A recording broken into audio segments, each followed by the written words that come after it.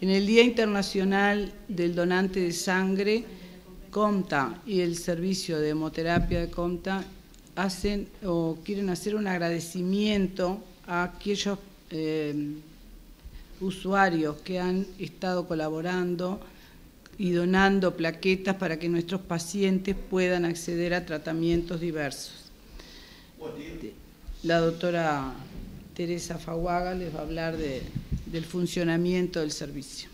Realmente hoy es un día muy especial para nosotros, los 14, cada año, el día 14 de junio, eh, este, tomamos un tiempito para este, agradecer a todas las personas que durante el año concurren a los diferentes servicios de hemoterapia y en este caso al nuestro en CONTA en particular, a hacer su donación de sangre. Hoy es el Día este, Mundial del Donante Voluntario de Sangre.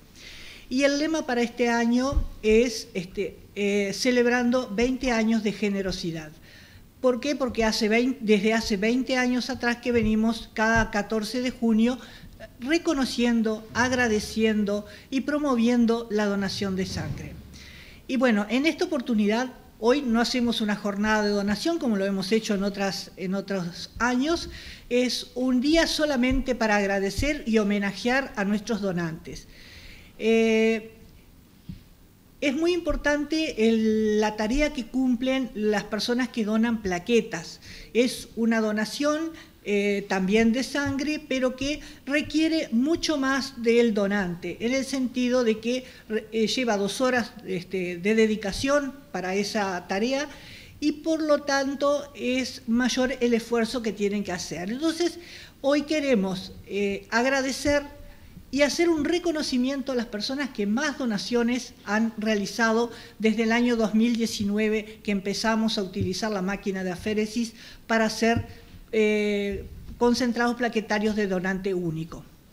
Eh, realmente eh, es, este, difícil dimensionar lo que significa la donación de plaquetas para el paciente que lo requiere.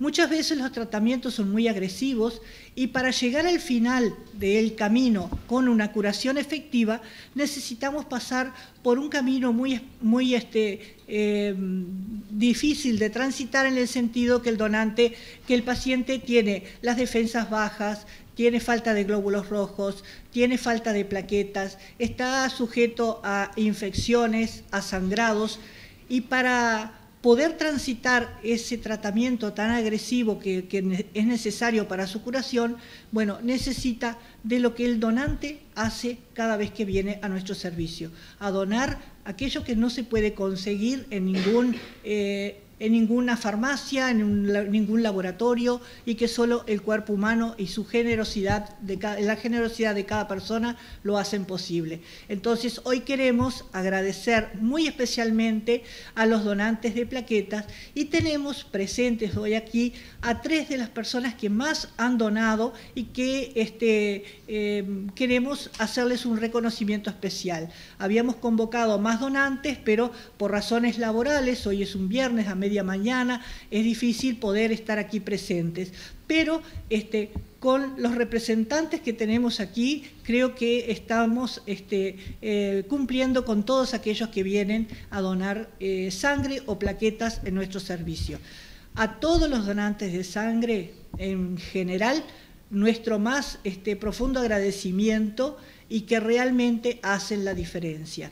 Y a los que son donantes de plaquetas, bueno, este, eh, también esperamos seguir contando con ellos. Hoy por hoy tenemos un listado de 80 personas que solamente donan plaquetas.